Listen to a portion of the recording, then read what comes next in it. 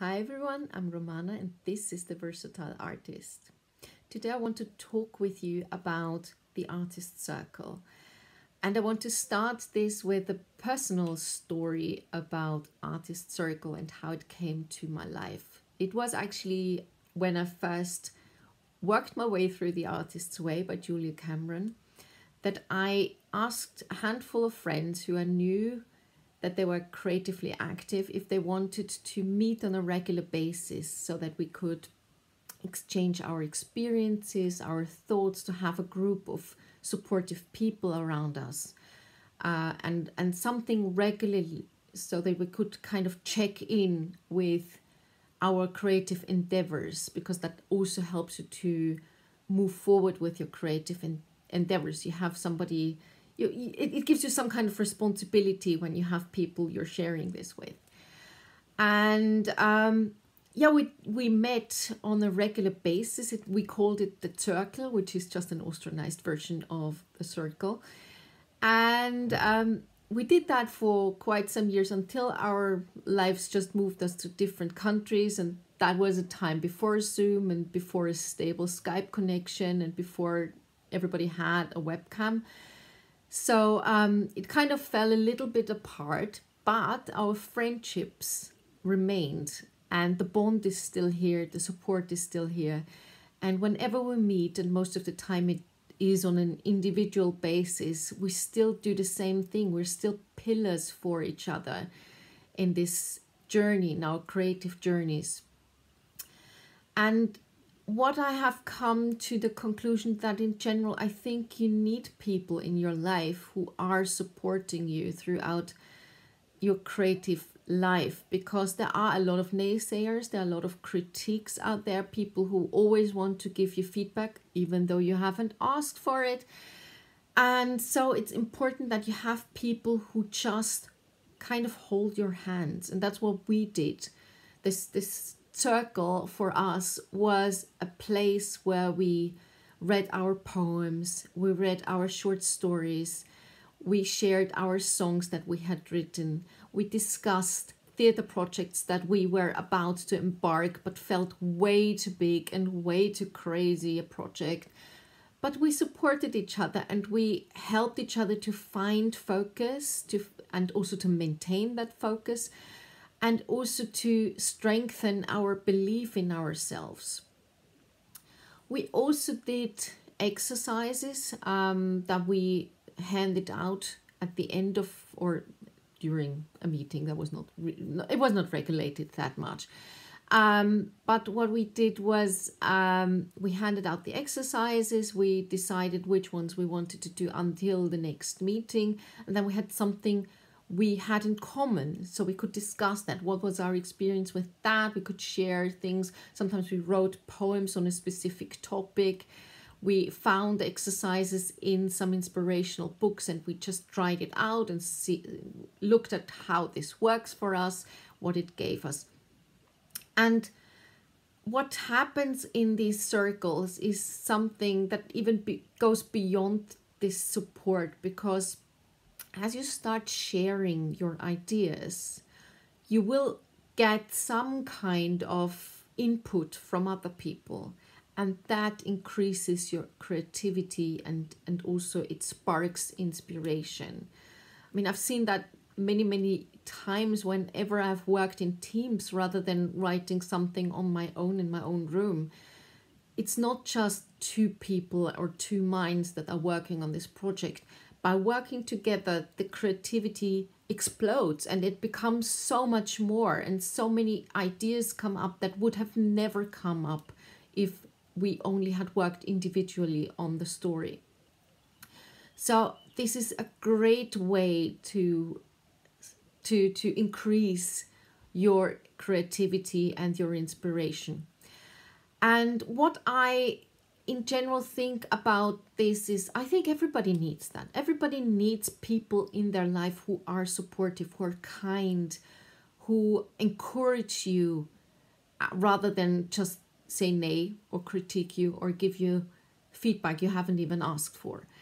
So, uh, what I would like you to do, if you feel that could be something for you, uh, look in your circle of friends and acquaintances other people out there who you think you would like to meet on a regular basis where you think you could help each other on on your journeys on your creative journeys. And then reach out to them ask them. I mean of course your network includes your worldwide network. It can be online anyway. I mean there is zoom there is google hangout and so many other platforms you can use for that. So it doesn't have to be in person but when you plan it, it's good to think about that, how you want to do it. Do you want to do it in person or online? And then set up a regular meeting. Um, and yeah, depending on where you're doing that. And also set a beginning time and an ending time because that is something that will help people to take this whole thing more seriously and also to show up and to be punctual.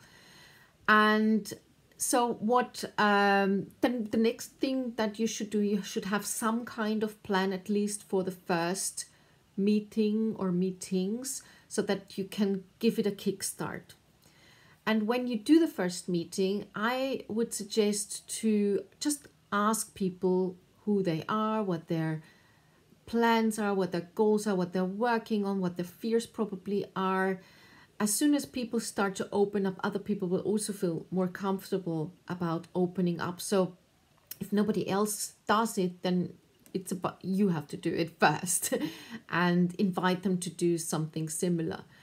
Uh, make them feel comfortable and also think about moderating the talking times because some people like to talk more than others and to find a balance in that um, invite or encourage the introverts to speak a little more ask them more questions if they are don't talk very much just because of their own nature.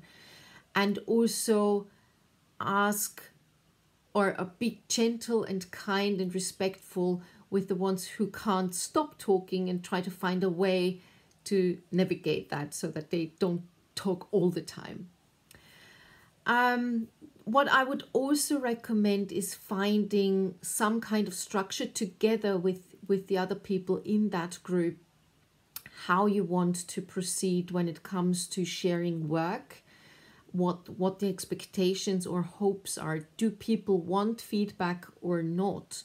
Or do they want specific feedback or not? And who is able to give that feedback? Because not everybody can give feedback on everything in the way someone needs it. So that's something you should definitely discuss with the other people. Um, another thing I would suggest to think about is adding exercises. As I mentioned before, that that's something we did.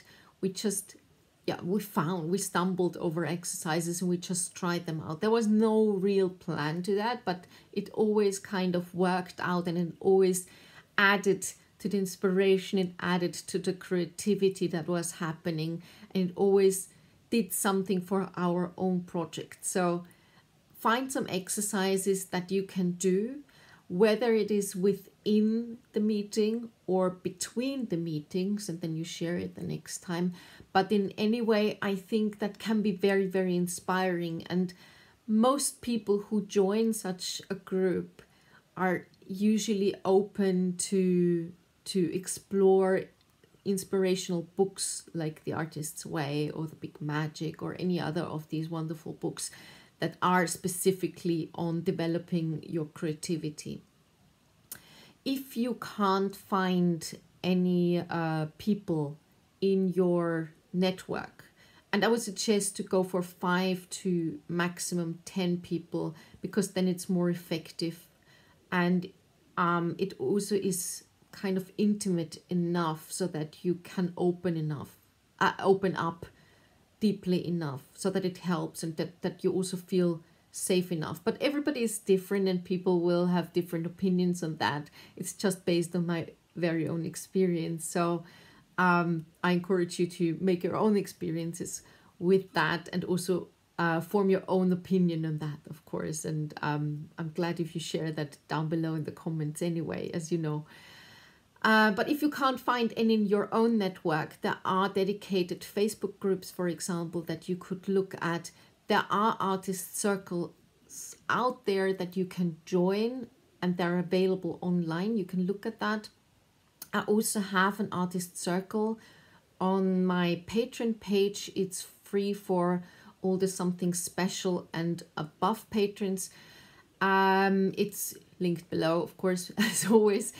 Uh, so there are many ways how you can set set this up or join it because if you're not the person who wants to set this up and carry that kind of responsibility that this brings with itself because when you set something up in some ways you will always be the moderator unless you find someone else in this group who who likes to do that um, but I would not rely on that. So think about whether you are someone who likes to set it up or join a group. But in any way, it's it's a great thing to do to do this kind of groups. So that's what I wanted to share with you today. And in my experience, artist circles are incredibly wonderful. And if you do this and approach it with kindness, with respect, and also with support with with with the meaning to be supportive. Even if you don't always get everything even if you disagree with certain things but in, in a respectful way you can support even the craziest idea. I mean i've had quite a lot of crazy ideas over the years and i'm very happy that my friends my circle friends have supported me through that and have always believed in me through all these crazy ideas and i mean i'm i'm eternally grateful for for them in my life that i have those people in my life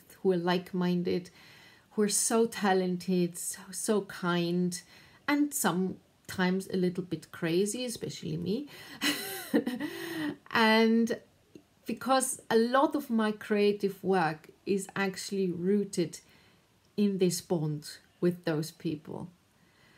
So share your experience with that. Uh, I hope this video inspires you to create such a group. If you haven't already or join such a group to add this to your creative life so that your journey becomes even richer more fulfilled that your creative work becomes additional inspiration. And um, yeah and if you like this video please give me a thumbs up. Share it with anyone who you think could benefit from and subscribe to my channel and we'll see each other very soon. Take care stay creative and be brave. Bye bye